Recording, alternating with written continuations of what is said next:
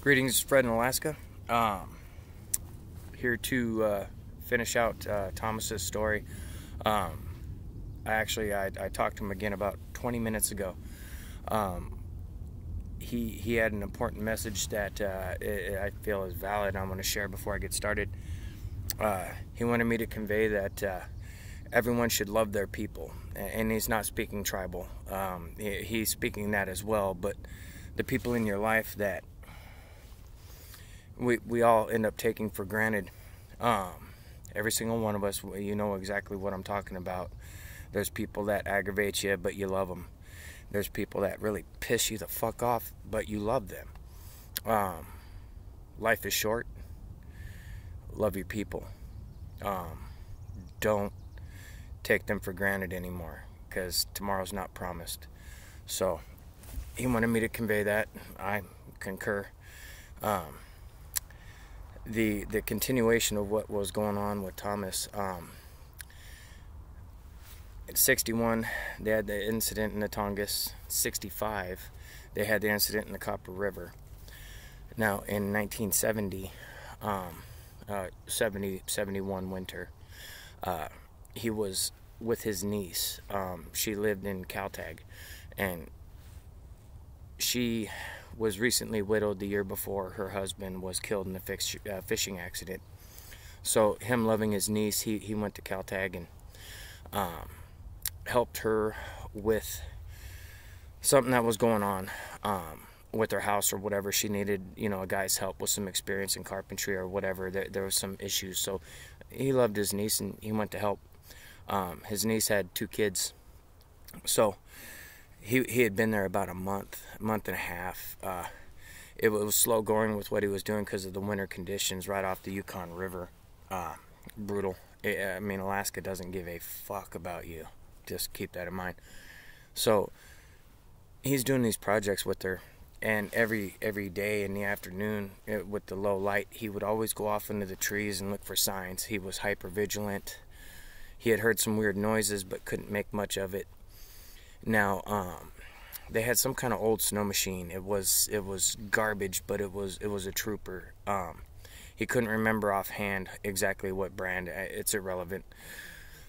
he uh, he fueled up and and took this trail, and it was a dog mushing trail, and you know someone had laid down for years and years. So he he took off. And if if you look on a Google map between Shaktoolik and Kaltag, there's just a washboard of different mountains through there. It's it's just so beautiful, unreal. Uh, I mean, just unreal. So he's going through there, and he would peek into these little valleys off the main trail, just not very far, but just looking, looking for any kind of sign. And he'd been doing this for uh, damn near the whole winter uh, because of that one particular noise he heard. It really, it really stood out with him and it was a garbled kind of owl hoot that was far too non-owl like to be believed to be an owl. And so he went with his intuition and it was about the third valley back that he took a little peek in and it was the last one he was going to look in because he was just had enough fuel to get back with a little reserve. And as he was circling back around in this little valley and coming back out he saw movement off to his left and this hairy man ran up the up the side of this little uh, mountain and, and, broke off into the trees. So he immediately stopped. Um, he had a seven millimeter Magnum with him. He gets off and he hikes over there and follows the tracks up. Well, he comes up onto a, this cave. It wasn't very big, but he could tell something had recently scurried in there, so he wasn't about to crawl in after it. You know, he, he was too smart for that. So he goes back down the snow machine and gets back to the to the cabin. Now this is many miles away from where his niece is and where the kids are, but he he he has a sense of how these things move and what they do. So he gets back, and for the next couple days, he's he's hyper vigilant. Hey, keep those kids close to the house. You know this this kind of stuff. And so, as he's as he's going through all these things, without telling his niece why he was so animate about keeping those kids where they where they can be safe. you know, she was just like, "Don't be so, you know, they're kids. They're gonna play. Don't worry about them. There's no, there's no bears, you know, this time of year. They want to play in the snow." He said, "I understand that, but understand there's things out in the woods that aren't bears that don't hibernate." And so she she asked him to elaborate, and he wouldn't. So she blew him off. Like, "Okay, you don't want to tell me? Then the kids are gonna play." Fair enough. You know, he he didn't feel like putting it out there like that. He was still struggling with what he had dealt with, seeing the job blown apart, and just just a, a multitude of things that he had been struggling with because uh, he had lost contact with that buddy after the the burn pile incident, you know, and so after this went on for a while, um, he, he stopped making his treks out to by that cave. He did it a couple more times just to see, but he didn't notice anything. So you know, he, he always kept it on his mind. Now, from the point he first saw this thing run up into the cave to when um, things started going ugly was at least a month and a half, two months uh, of vigilance and, you know, quasi arguing with his niece. And she was getting to the point to where she was asking him to think about moving on, you know, to leave the area because, you know, he, he was stressing her out. She just lost her husband like the year before or something like that and he didn't want to be a burden to her, but he knew the danger, so he, he kept trying to convey without really saying. And, and it's something he regrets. He regrets not coming right out and telling her. Um, so all these background stresses are going on. He's still doing his thing. He he got he fixed whatever issue was done with the house and, and whatnot. And he hadn't originally planned on leaving until later on in the spring. Now it was getting to the point where um, things were starting to warm up. Not melting, but warm up, you know, as compared to 20, 30 below, depending on, you know, time of day. So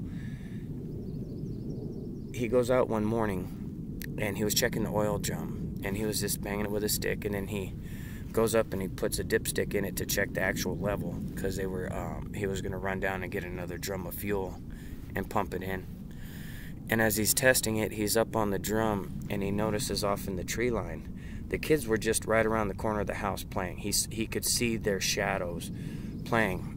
And off in the tree line, about 100 yards away, he notices a peeking movement like this.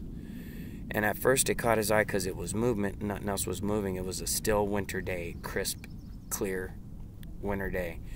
And he sees this thing peeking, so he immediately, his heart sank.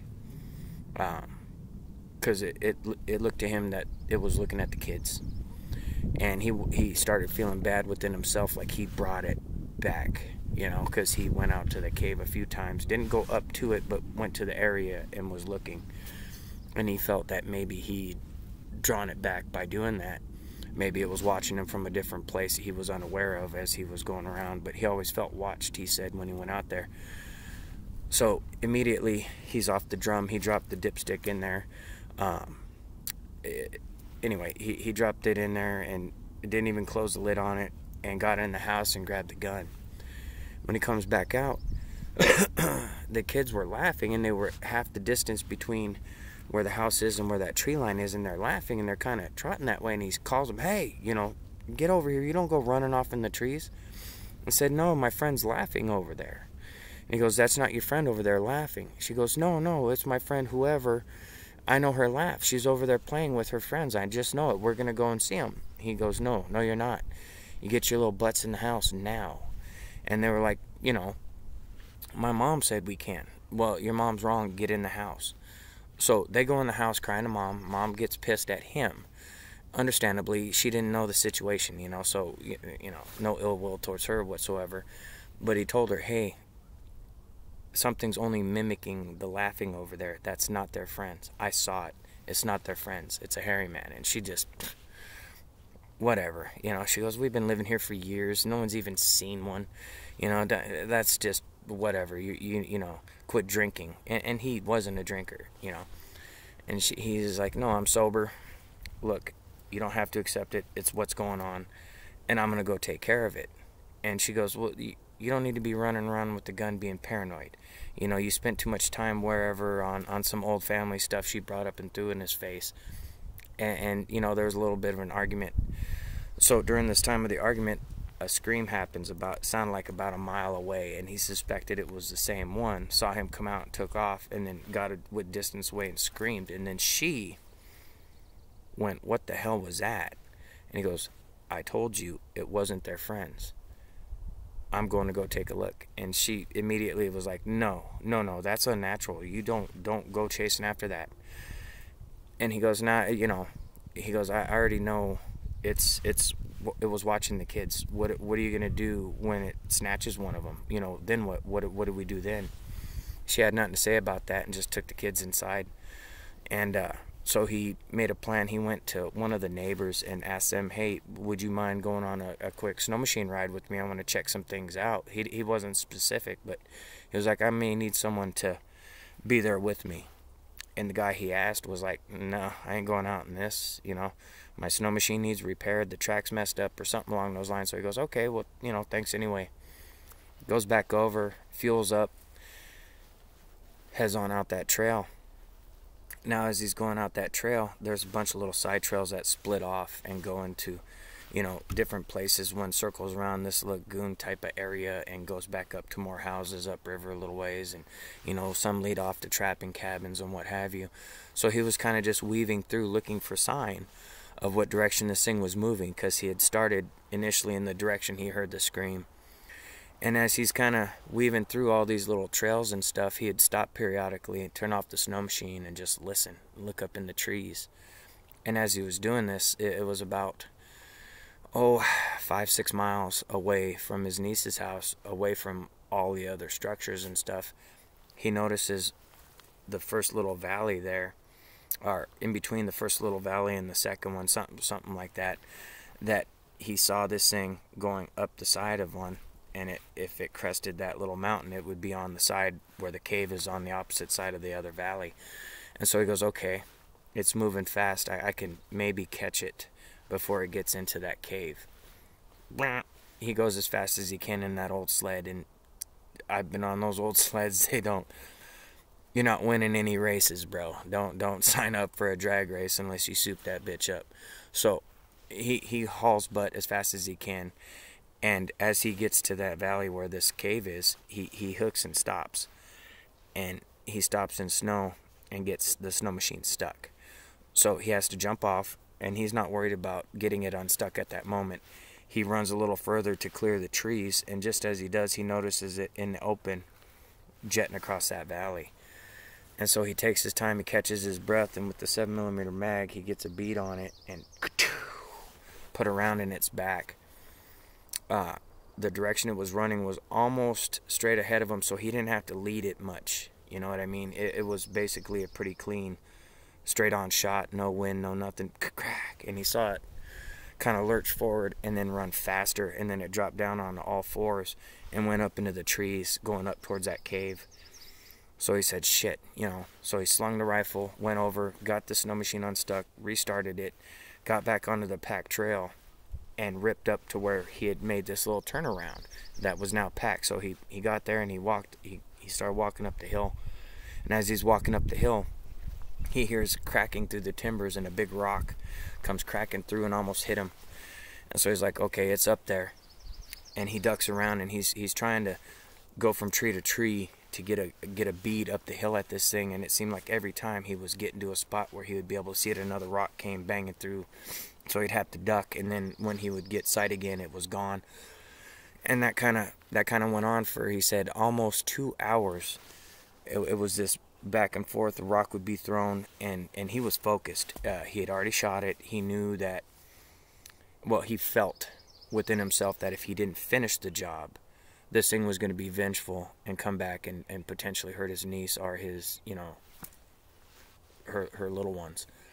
Now, he he wasn't able to get a clear shot. It, it just it went on and on, and he knew it was getting dark and this thing would have the advantage because he just went with the rifle. He had no flashlight. There was a little light on the snow machine, but it, it was a joke. It ran on a magneto. It wasn't getting very bright, you know. So he he cut his losses. He knew what, you know, potentially it would follow him back. So he jumped on the snow machine, heads back as quick as he can, and when he gets there, um, his niece. Uh, not understanding fully what was going on, uh, told him that tomorrow morning you need to leave. There's there's stuff going on that wasn't going on before you got here. You know you're, you know there's this crazy screaming. You said you saw the hairy man, and, and you know it it just you did your work. You know, and I thank you, but tomorrow I think it's best maybe you should leave. He goes, okay, well, understand, I saw the hairy man, and I shot it in its back, and I've been gone for hours now, trying to finish that job so you're not in danger. And she just kind of was like, you're not going to use that as an excuse to have a, a, place to flop. And he was like, I volunteered to come here to help you. It, it, was a little little family thing. Let's be honest. You know, she wasn't fully understanding, and he wasn't really giving enough. But when he did give enough, she just didn't seem to want to accept what he was talking about. And so he goes, okay, well, give me two days to make my arrangements. She said, yeah, that you know that's fine, but let's just before it gets you know bad and we don't talk anymore, let's just you know you can go on your way. He agreed. You know, it, it kind of broke his heart, but he, he understood at the same time because it was a bad look. I mean, you know, here your uncle shows up, and within months, you know, there's crazy shit going on. He's claiming he sees a hairy man. I mean, you know, it would it would seem outlandish, you know. So that night, he he was always sleeping out on the couch because it was just two rooms, a room for the kids and room for mom, and he didn't want to disturb that, you know. so he hears uh, in the middle of the night he hears giggling and and so he stands up and he goes and he and he's listening and, and the door for the kids' room was just a curtain hanging you know it was a remote village there wasn't no you know home and garden and they weren't in architects you, you know architect digest or any shit like that. It was a simple home you know very simple. Nothing nothing spectacular whatsoever. And so he's listening at the curtain and he hears the youngest girl saying it keeps peeking in the window. And then they would laugh again and say see see i saw it peeking in the window. Like and so he, he continues to listen and, and so he he slips across the way to his niece's room and, and whispers in there it's it's peeking in the girl's room. And, and she was startled up and like was loud like what the hell are you talking what? And he goes Shh, you know it's peeking in their window right now listen. And then she you know it went quiet and they listened and the girls giggled again. See it keeps it keeps looking it's right outside there. Mom hears that and goes what the fuck and she goes what did you bring to my house I, I, and I understand her view on it, but he told her, "Look, I didn't bring anything. It it showed up. I told you. You didn't believe me. I went and did thing. You didn't believe me. Here we are." And she goes, "Well, it still may not be that." He goes, "It is." Now they're talking in whispered tones, trying to half listen to the girls, and then he, they hear the the oldest girl go, "Oh, no, that that's so and so. Oh, she wants she wants us to come outside and play. Don't you hear her talking?" and they got real they were like really listening and they could hear childlike talk but nothing they could make out so this thing was outside the fucking window making mimicking another child in the area now um he said they couldn't make out english words but there was tones that made it sound like a little girl but in a language they couldn't even it made no sense it was like gibberish and so immediately the mom was up in that room and um, getting the girls into her room. And he grabbed the gun and went outside. Now, when he went outside, they they had antiquated flashlight technology back then. Um, those big six volts, and the the incandescent light on it was this very it was a yellowish like beam, real real kind of dirty light, so to speak, and it didn't it didn't put out and project much, but it was all he had. So he grabs a rifle and he's out there. And just as you go out the door, the kid's bedroom was immediately there to the left, you know, 15 feet maybe. At, and that's, you know, that's being generous. So he goes out and he's ready, and there was nothing there. And so he kind of kind of turns back and forth, and when he turns to his right, he notices out of the right corner of his eye in his peripheral, this thing ducked behind the corner on this side of the house. So he goes, okay. So he goes, you know, he yells in the door, I'm gonna go, I'm gonna go around, I'm gonna check their window, and I'll be back. And what he does is he goes down the little steps and goes towards the girls' room around the corner because he knew it was behind him over on that corner. He was trying to get it to come out and follow behind him, and it did. He gets around that corner and he's standing and he, uh, well, leaning back kind of on a knelt position with the rifle pointing up a little higher. And he saw there was an old uh, kind of like a street light uh, kind of light up on a post at the far end of the yard that kind of put some light into the area but not much. But he could see the little bit of a shadow coming to peek around. As soon as it does he just as soon as he saw something dark come around the corner he shot at it. Bam! Big scream. This thing it shot blood on him onto the side of the house and it ran into the trees as he was, he got jammed up trying to work the bolt action to get another round in. And uh, so it, it, slipped into the trees. And so immediately he once he clears it he starts tracking because it, it, was it, it, was blood was all over the snow and uh, he said nothing to his niece he, he needed to stay focused on uh, getting after it so he tromps through the trees and he's trying his best to follow. Because in the snow, he could see the blood real bright in the snow. In, in wintertime in Alaska, it gets pitch black. But if there's enough ambient light around, it'll reflect off the snow and give the illusion of better night vision, right? And he was going on that. And I, I mean, I would have too. You know, I, why not? Why not make use of that natural light and, and do your thing? So, he, he's following the bloodstains and he notices it stops by some bigger trees. So he figured, okay, it's up in the trees. I've seen this game before. So immediately he starts looking for dark movement in the trees, and sure enough, this one tree, it was obviously not big enough to support this thing because it was slowly kind of doing this number and it started making a cracking sound. It, it collapsed down under the thing's weight. It he saw it struggling to get up and he put another round. He couldn't tell if it was facing him or facing away because it was just a very dimly lit silhouette and he was shooting for a dark mass. So he hit it again let out a scream and it kind of started staggering and running through trees as he puts in another round.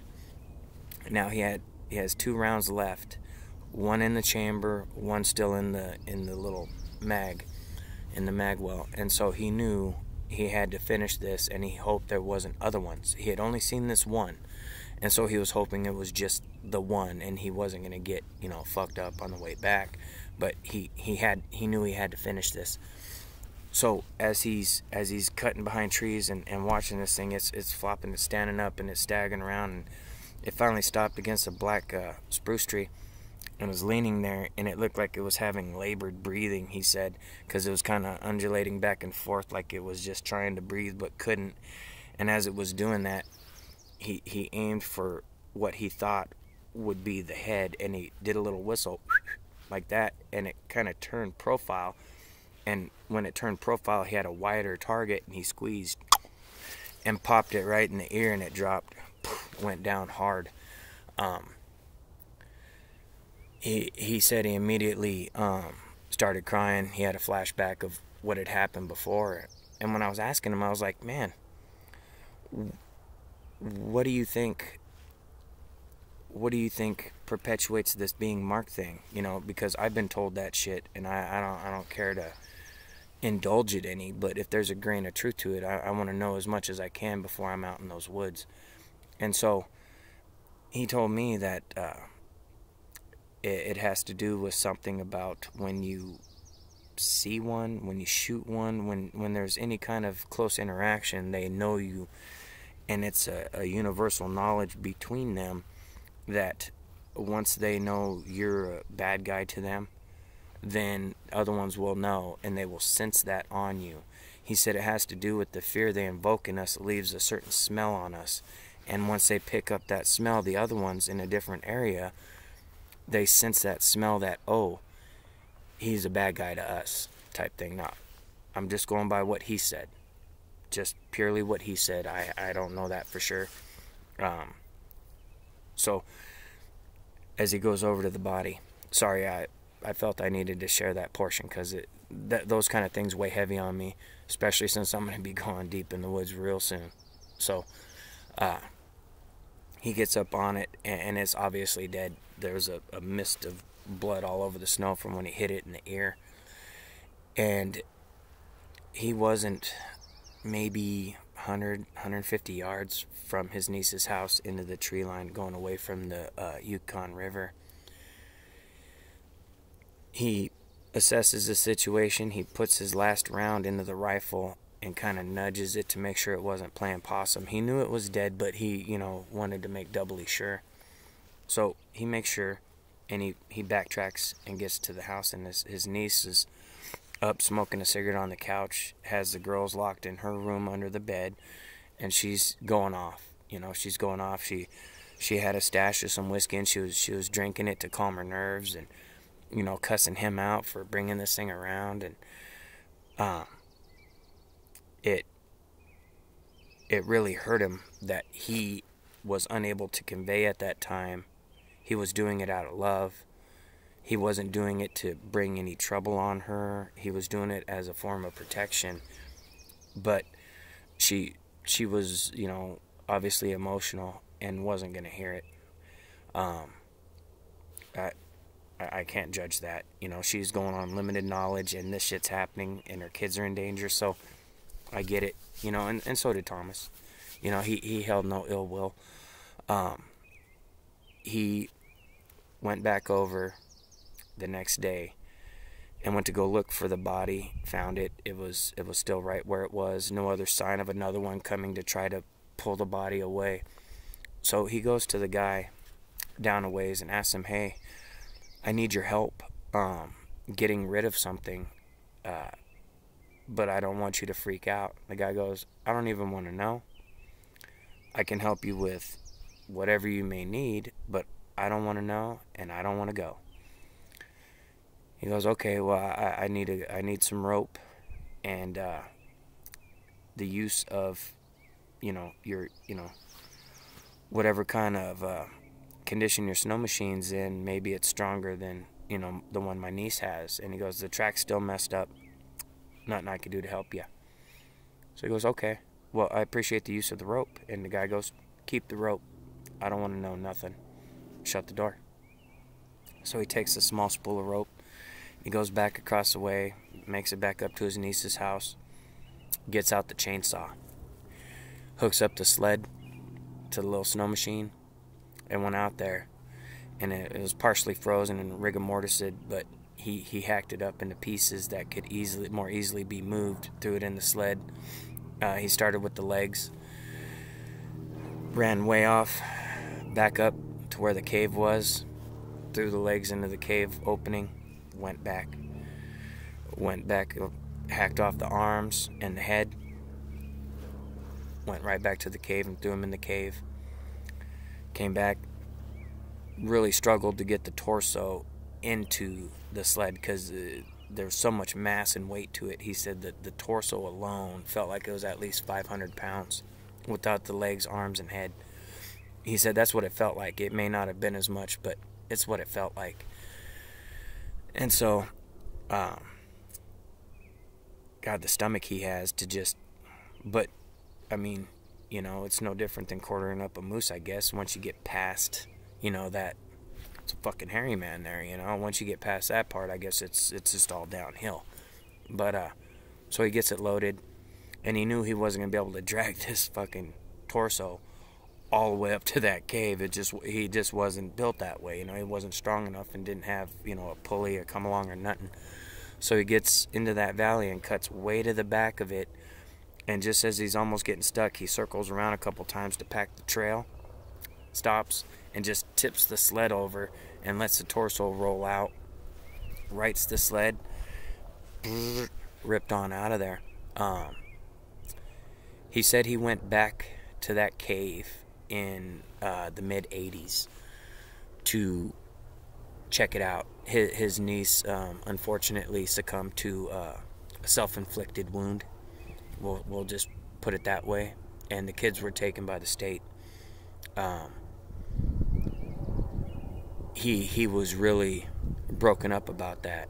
Um, still is. Uh, he was crying about it this morning. I'm trying not to dwell on it too much because it makes me want to cry. Um, because of sorrow in his voice. He was he he sacrificed his relationship. He knew knowingly sacrificed his relationship with his niece to protect his niece. But she she didn't see that, at least to his knowledge, before she uh, passed away of a, a self-inflicted injury. Um, so that's where he wanted me to convey to you guys: um, love your people. Explain to them why you're upset. Don't don't hold it in. Get it out. Don't don't end up like he did with a lot of regrets with loved ones that he did not make amends with, you know, before their passing. And um, yeah, uh, Thomas, I thank you for sharing. Um, if I missed anything, brother, just you know, call me. Uh, I don't think I did. Um, and and that, that that's into that. But um, thanks for joining me today. Uh, I'll have a video out probably later on today to discuss some background things um, that have been going on and give some thanks to people that have been working really hard behind the scenes. And it'll all make sense uh, as soon as I explain it next time I have a chance. All right, thanks for joining me.